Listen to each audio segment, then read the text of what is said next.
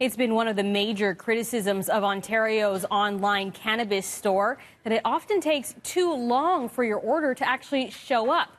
But it appears that is about to change. Richard Southern joins us now. Good to see you in the flesh. To I'm be so together glad you're back desk. and healthy, by Oh, the way, thank you so much. So glad awesome, to be so back. So let's talk pot. The province uh, gotten lots of complaints about the speed of delivery, and now they're trying to speed up that process. Yeah, this is interesting. So, you know, right now, the only way to legally buy the drug in Ontario is on that online store, ocs.ca. But your package can take three days or more to arrive. So now, the Ontario Cannabis Retail Corporation, they say they're looking to find a courier, Ginella, that will make same day pot deliveries.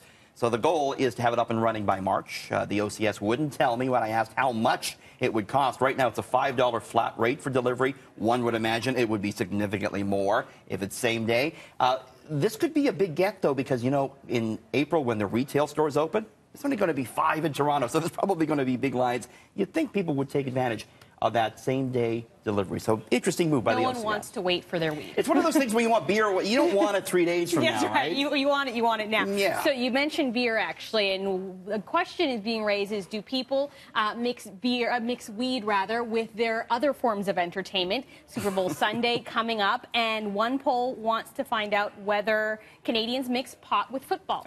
Thought this was pretty interesting. Uh, it uh, looks like the answer is yes, Ginella. Uh, Super Sunday just uh, a week away, and uh, this new poll uh, finds that a significant number of people will be having a toke with their Super Bowl 61. 0.6% plan to drink alcohol while watching the Super Bowl. We know that. But 16.4% will use cannabis during the big game. 19.8% of men will watch the Super Bowl stoned. Uh, 12% of women plan to do that.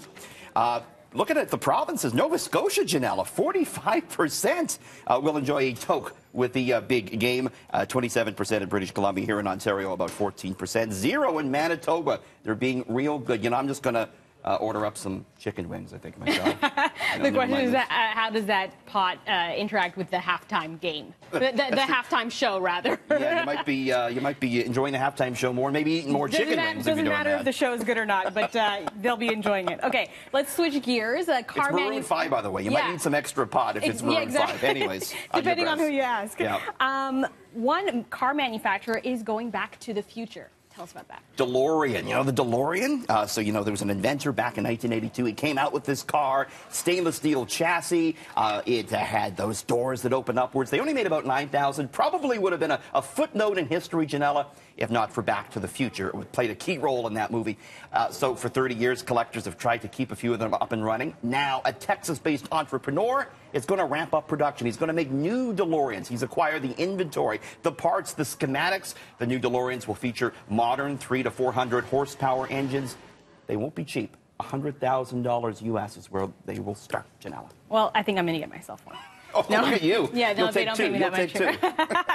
Uh, okay, so some things are priceless, but one uh, survey is trying to put a price on motherhood.